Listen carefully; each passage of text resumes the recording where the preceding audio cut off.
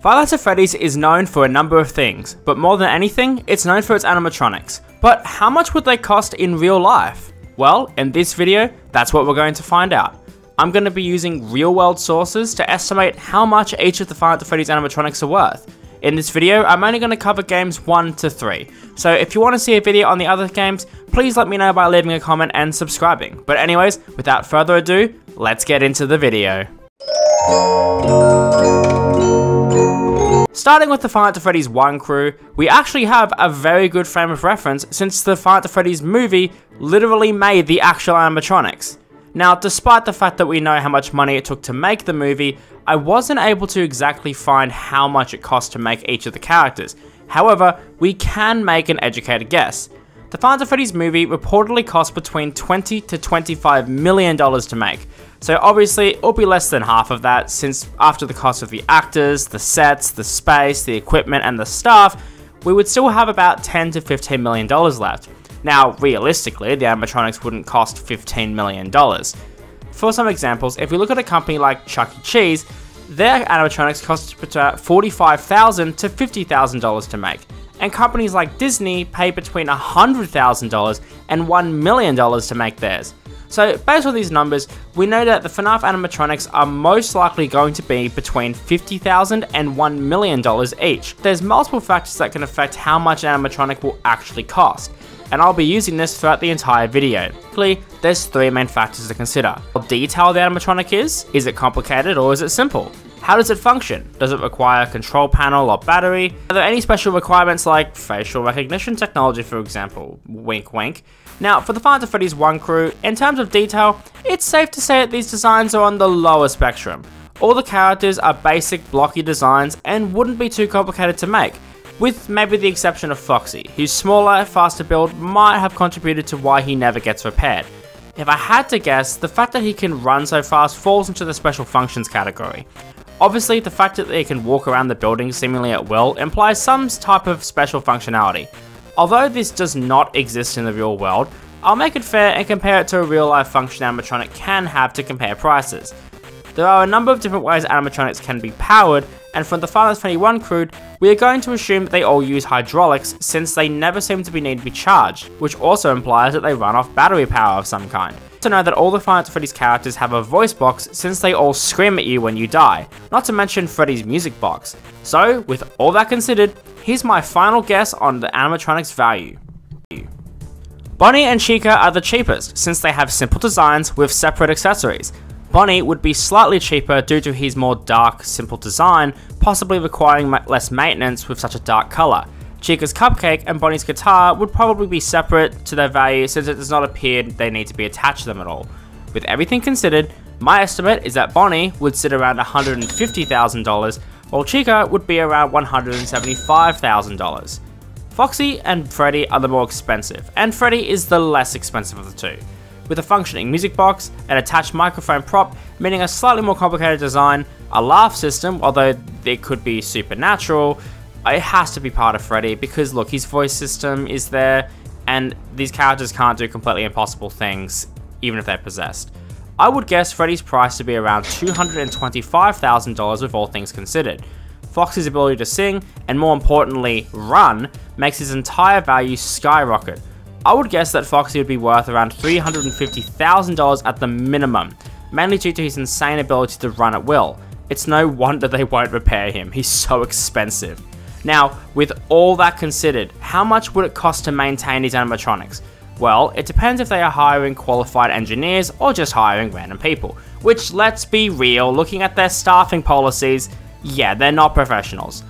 With this, we can say that the only expense would really be parts, which I'll get into later. For maintenance, it would be around an extra 1,000 to $10,000 just to maintain it, but let's say each character is getting the minimum of $1,000 per year, since they obviously aren't being cleaned with Foxy being completely ignored, meaning an extra $3,000 per year is needed to maintain them in the state that they're in. I'm also going to count the Endo in the back as a separate character, meaning that at the bare minimum, we're going to be adding another $100,000 since we're assuming they have the same function as every other character. So in total, the Five Freddy's 1 animatronics would cost about $1 million collectively to make. And that's not counting all the heads and spare parts, which would probably add another 500k to the goal. But yeah, there we are. let's see how the other games fare.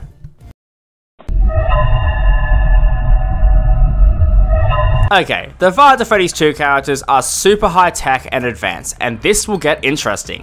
Now, quickly mentioning for the with animatronics, I'm just gonna say they would all cost the same as their to Freddy's 1 versions, since they all act the same. Although, let's just take about $50,000 off each of them due to the current state that they are in. Alright, so for the toys, we know a couple of their features. They can walk around, they can interact with kids, they can turn towards sound, and they have a security system tied to a facial recognition software. So, these animatronics are going to be pricey as Although, despite that, there is one character that would be way cheaper than the rest, and that's Mangle. Because of their condition being so terrible, I would say that Mangle would be worth around $150,000, since it clearly is completely broken and mainly an endoskeleton. Now, for the main three toy animatronics, which are all simpler in design, and they all seem to be able to do the same thing. So I would estimate that at the lower end of the spectrum, each character is worth at least $1 million, and at most about 3 million due to their complicated AI allowing them to access the government criminal database. But, just to make it fair, let's say each animatronic is worth about $1.5 million. Now the last two characters are Balloon Boy and the Puppet. Balloon Boy doesn't really do much to be honest, and I don't know if he interacts with the kids the same as the others, so I would say that Balloon Boy is going to be somehow worth about $100,000 because he technically isn't even an animatronic. Now, last but not least, we have the puppet, which gets super tricky since we don't even know if they're an animatronic or just a puppet. Although, looking at the wiki, they are apparently an animatronic, but obviously like Balloon Boy, they lack an endoskeleton.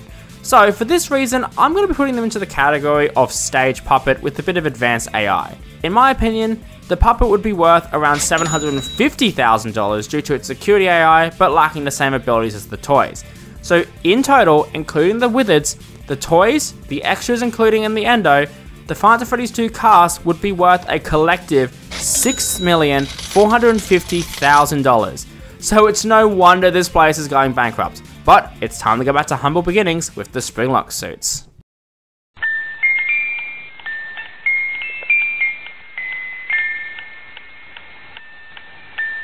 Now, to Freddy's 3 only has one animatronic, Springtrap, and obviously he's a piece of junk.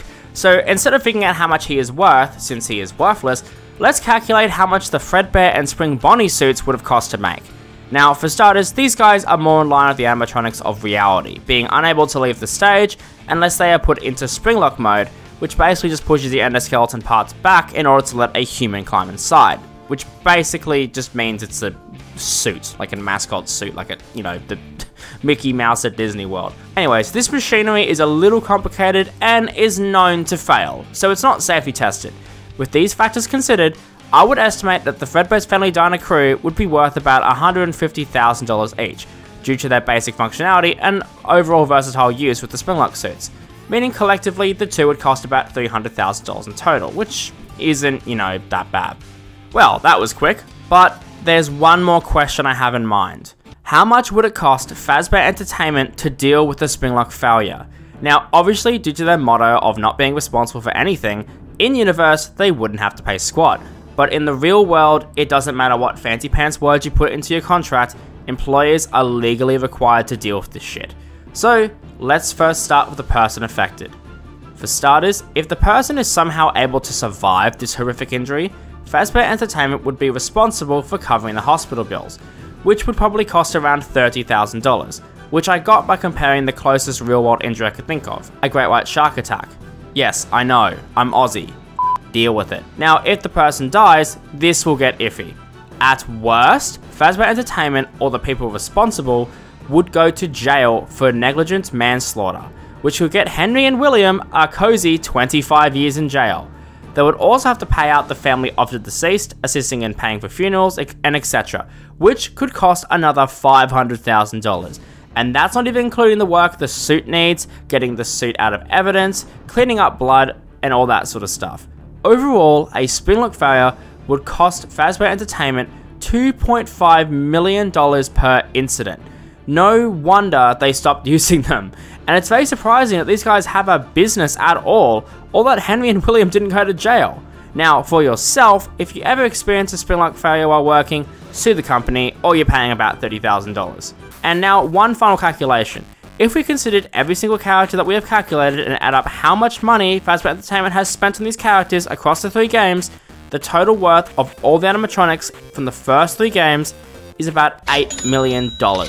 So yeah, these guys are rich as Anyways, that's the video. Again, if you want to see me calculate how much the rest of the cast cost, be sure to like and subscribe as well as leave a comment asking for more. But anyways, thank you guys so much for watching and I'll see you guys in the next video.